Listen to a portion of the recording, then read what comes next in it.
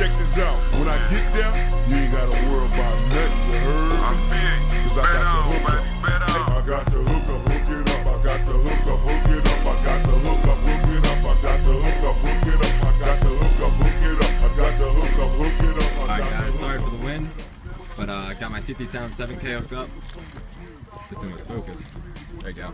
Uh, 7K hooked up. I had to uh, put a little bit of uh, better batteries and alternator on this Jeep, so I got a Singer 320 alternator, which I'll show you in a bit.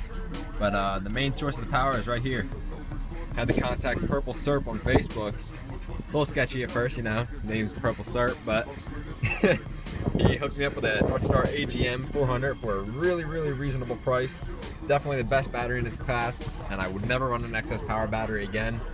So that has three grounds.